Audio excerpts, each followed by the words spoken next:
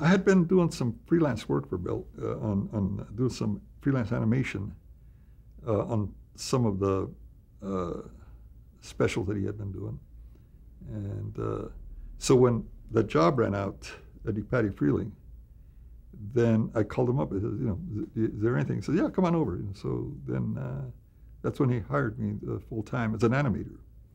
And so I, I were working on, um, I think it was Snoopy Come Home, the, the feature. And uh, then he started doing um, uh, Charlie Brown Thanksgiving. And so halfway through that, he, he just got tied up on something else. He says, Phil, he says, could you finish directing uh, the rest of this uh, special? And uh, sure. I mean, to direct, I mean, I, I, always wanted to direct, but I'd never uh, had been given the opportunity. And so, so I just went ahead and did it, just following, you know, because he had, he, again, he had his own way of working, and he kind of ran through, says, you know, working on bar sheets and timing things out a certain way and stuff. So, you know, uh, I, just, I just followed uh, the way he had uh, the system he had set up. And, and sure enough, you know, we, we did it, came out and fine. So after that, you know, I, I directed the next uh, 14 uh, specials, uh, Charlie Brown specials that Bill did. He was busy on other projects, you know, because they had other things. And, but, he, but he would be involved in uh, dealing with Sparky, with Schulz. He, he would be uh, doing the storyboard and developing that, doing the recording sessions, and uh, and, and a lot of it because that required a lot of time.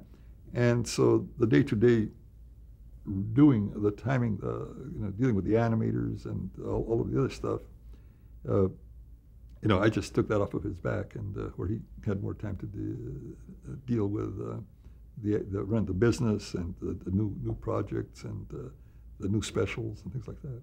He is uh, again one of my heroes.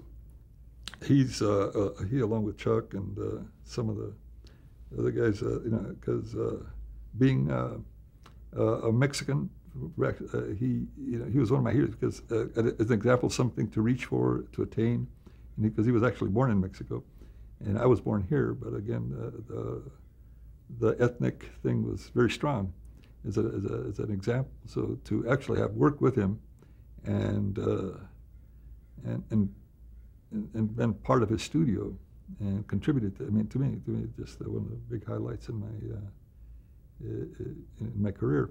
But uh, he's uh, a, a, very very talented guy. He, he's his background. He had worked at Warner Brothers and, uh, and, a lot of the shorts, and then he'd worked in commercials at uh, Playhouse Pictures and and so he, he, and he, he, can really draw. I mean, he's got this great style of drawing, and he does some great caricatures of himself.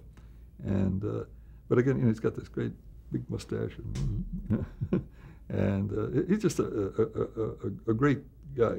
Uh, and so, like I said earlier, that when I set out to uh, start my own studio, I patterned it after um, after his studio and, and after Chuck Jones' studio, because uh, those to me were the most fun, where I enjoyed not only uh, creatively, but also dealing uh, with, with, the people and the artists and that. So, and uh, and it seemed to have worked out for me because you have to make a, a, place that's artist friendly, where they can feel they can uh, create uh, to their um, best efforts. The first one was uh, that Christmas special, and again, I mean that made a big hit right off the bat because again these little characters. Uh, uh, see, the, the, these Peanuts characters, I don't think were meant to, were drawn to be animated because uh, they're, they're very flat. The only one that can, is animatable is like Snoopy because you can actually turn them around. The other characters are, you know, very either look this way or look from the front or three quarters, but there's uh, or, or, sideways. But again, there's some poses where they don't look that good, so you have to uh, design them where you, you maximize uh, their strength, you know, the way uh, Sparky drew them.